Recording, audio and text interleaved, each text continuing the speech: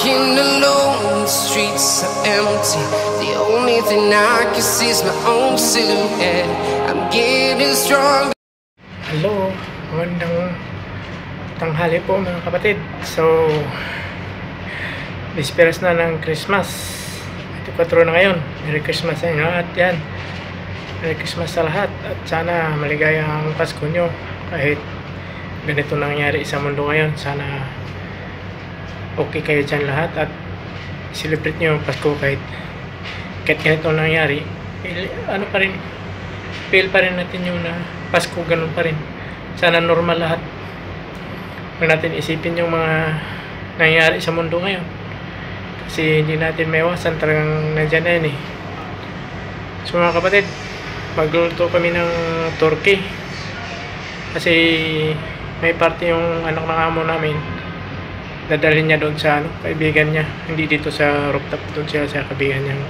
Mamayang gabi, siguro sa salubong niya ng Pasko. So yun, nag, na marinate na po yung turkey. I ano, i-roast roasted turkey siya. Na marinate na po ng lunis tapos nilagyan na lang ng ano sa ilalim palaman ng kanin. Mga, mga tinitimpla na po yung kanin tapos lalagay namin sa ilalim. Tapos yun i ano yun, i-oven yun ng 6 to 7 hours. So, umpisa namin alas 12. Tanghali, yun, ipisa lang namin tapos matapos yan mga alas 6 ganun yun pwede na yun yun na pagkatapos nung deliver ko ay hatid ko po doon sa ano sa bahay ng kaibigan niya kasi mauna na siya doon yung bunso yung bunso ng anak ng amo so mamaya mamaya ulit mga kapatid magluluto si nanay ng dalawang litsong turkey. Sarap niyan magtimpla. Nilagyan po niya ng ano, palaman na kanin. Templado na po yan. May ano na yan, kompleto na sa ingredients na marinate niya ito nung lunes. Ngayon nilagyan na lang niya ng ano, yung ano, mga pa, ang toppings at saka yung palaman. Yan, sarap ng palaman. May lamang loob, yung liig ng pabo dyan nilagay. Bigyan cinnamon. Tapos cinnamon, lahat. Anong ingredients yan? Mga Bawang, bawang, sibuyas, sibuyas, cinnamon, lemon, almond, orange, almonds, tapos butter. Yung butter ang ang pangluto niyan. Kaya sobrang sarap yan. Pwede na pang negosyo mga kapatid. Hmm. Yan, si Nanay Meli. Yung kasama ko rito. Oo, para mapanood to sa ano mo, kapatid, ay ano mo, mga pamangkin mo. Tingin ka muna na eh. Ayun. Ayun, ang ganda yun. Ang ganda yun, 65 years old pero maganda pa rin. Hindi pa kumupas.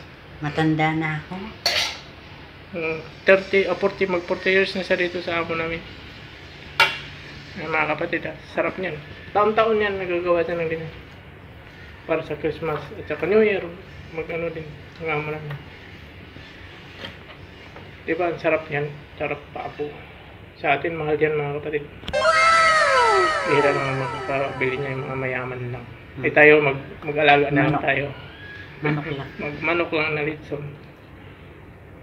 Sobrang laki, mga ano ata to, 10 kilo, ah, 7 kilo no? Ano? Mm. 10. Okay, laki. Pag binili mo to mga ano, 1,000 plus, 1,000 plus. Pag, pag sariwa, di ba pa? 1,500. Ano lang, Pag sariwa, 3, 300 plus. 350. O 350. So, ang laki din ng ano. Laki ng tubo ng magawa no? Luto lang sa oven. Pwede na. po niya mga kapatid yung ano, butas kasi nilagyan niya ng ano ng kanin sa ilalim tapos tatayin para hindi siya lalabas tapos lulutuin mo yan ng ah, 4 to 5 hours 6 to 7. ah 6 to 7 tagal-tagal pa niluluto niya 6 to 7 hours kaya isa isa salang na niya ngayon kasi gagamitin mamayang gabi yung isa parang bukas pa yan bukas na alas 5 ng umaga sasalang din niya Oo, kasi po kung sinasaka. Mm, tapos yun ang tanghalian ng mga amo namin.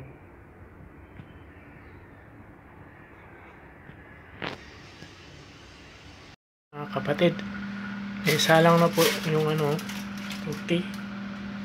Kanina hindi ko napansin na sinalang na pala ni nanay. Ngayon, dalawang oras na to, dalawang oras yan.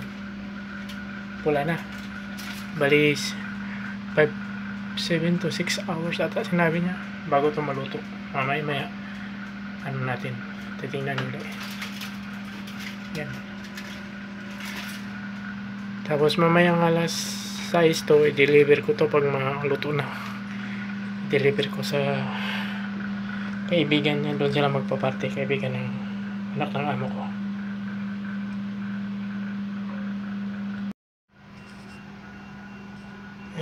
Kapatid. Mamaya, luto na ibalik po ulit yan.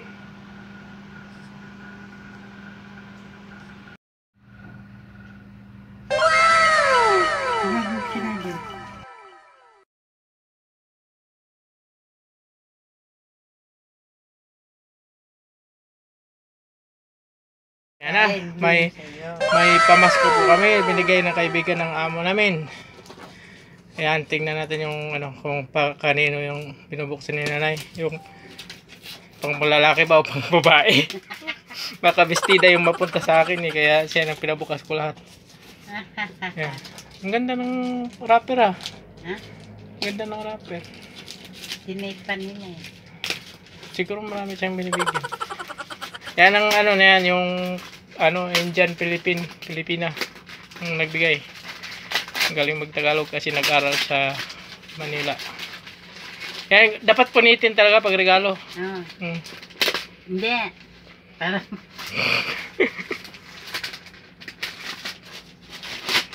Yan. Hmm. Ano yan? Pang- Pambabae? Pang panligo. Tuwalya. Mm-mm. Hmm. Tapos Ayan, ganda. paligo. Yung isa. Sa'yo, buksan Ano mo. kaya yan? Buksan mo. Ikaw na magbukas. Ano kaya? Punitin mo na.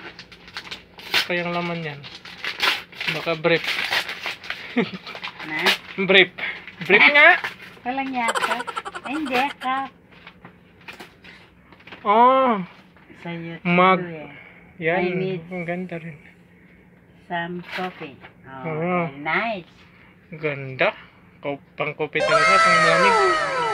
May pa. Oh. Mm. Sige. Thank you. Ma'am Nita. Panlalaki ah.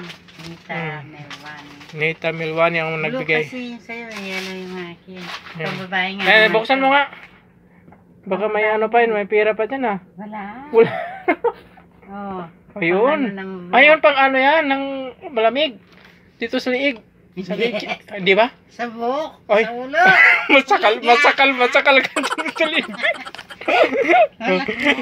ano, Wala ako mukha ito. Ay, Meron ay, pang- niyan, di ba? pang kuskus. Oo.